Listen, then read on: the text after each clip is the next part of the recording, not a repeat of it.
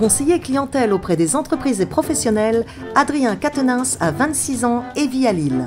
Il s'engage politiquement dès 2006, lors de ses années de lycéen, et participe à plusieurs actions associatives pour venir en aide aux sans-abri. D'abord adhérent de l'association altermondialiste ATTAC, c'est en 2012 qu'il s'engage résolument aux côtés de Jean-Luc Mélenchon dans sa campagne présidentielle. Il adhère ensuite, en 2013, au parti de gauche qui, par son triptyque écologie, socialisme, république et sa capacité à renouveler les pratiques militantes, fait la synthèse parfaite de ses convictions. Déjà candidat aux élections municipales de 2014 à Lille, il est aujourd'hui investi avec sa binôme Agnès Pinson par la France Insoumise aux élections législatives de 2017 sur la première circonscription du Nord.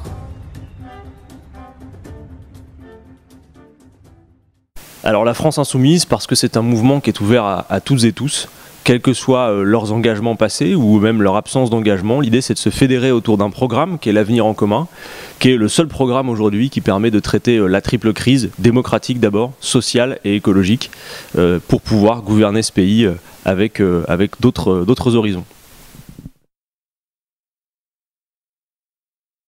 Alors pour moi, le, premier engagement politique, ça a été euh, à l'âge de 16 ans, euh, en 2006, les années lycée, euh, autour des manifestations lycéennes contre le CPE. Ça a été mon premier engagement. Puis, juste après, j'ai eu envie de, poursuivre. J'ai adhéré à l'association altermondialiste ATTAC, qui a été pour moi un, socle de formation, disons, idéologique. Puis, je me suis également engagé dans l'association sur le, droit au logement et, l'aide au centre domicile fixe sur l'île. Et finalement, au bout d'un moment, quand on commence à avoir une vision à peu près claire de, l'état du monde et de ce qui se passe, on a envie que nos idées puissent gouverner. Et donc assez naturellement, mais par frustration justement, je suis venu à la politique. Euh, d'abord en étant sympathisant de, certains partis, puis Ensuite, au moment où Jean-Luc Mélenchon a quitté le Parti Socialiste, puis notamment au moment de la campagne présidentielle 2012, je me suis rapproché euh, euh, de lui et ses équipes. Et j'ai milité d'abord au sein du Parti de gauche, dont j'ai eu quelques responsabilités euh, locales. Et puis ensuite, je me suis engagé à corps perdu dans la campagne de la France Insoumise.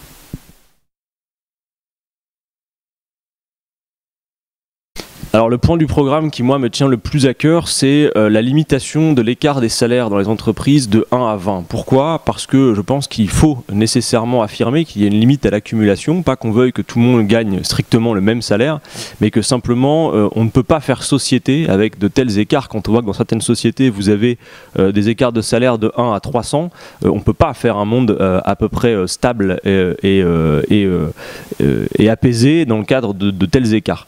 Donc la limitation de 1 à 20 permet de résoudre ce problème, tout en laissant la capacité euh, à ceux qui sont à la tête de l'entreprise de gagner, euh, de gagner correctement leur vie, mais du coup, par la réduction des écarts aussi, d'augmenter potentiellement euh, le niveau des salaires les, plus faibles. Donc voilà, les, syndicats des entreprises sociales et solidaires nous disent que le rapport de 1 à 7 serait un bel objectif. Déjà, faisons le rapport de 1 à 20, ça me semble être une mesure prioritaire.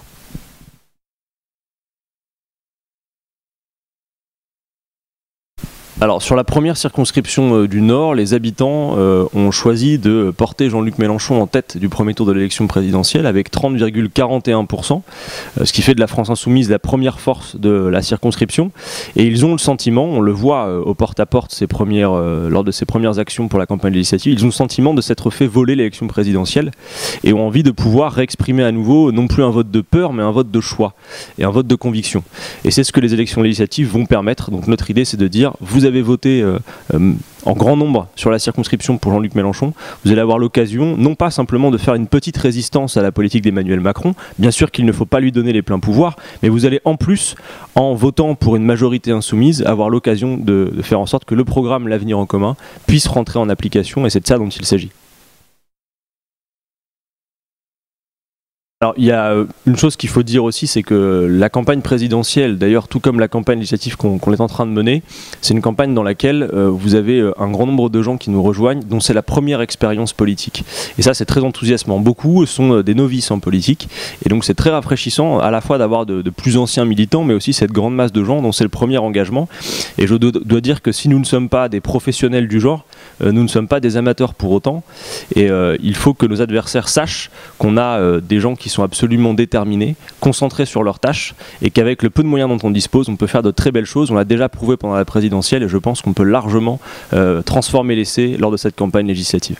Et maintenant, c'est à vous de jouer. Vous pouvez nous retrouver sur les réseaux sociaux, Twitter, Facebook et également sur notre blog de campagne à retrouver depuis les réseaux sociaux. Voilà, bonne campagne.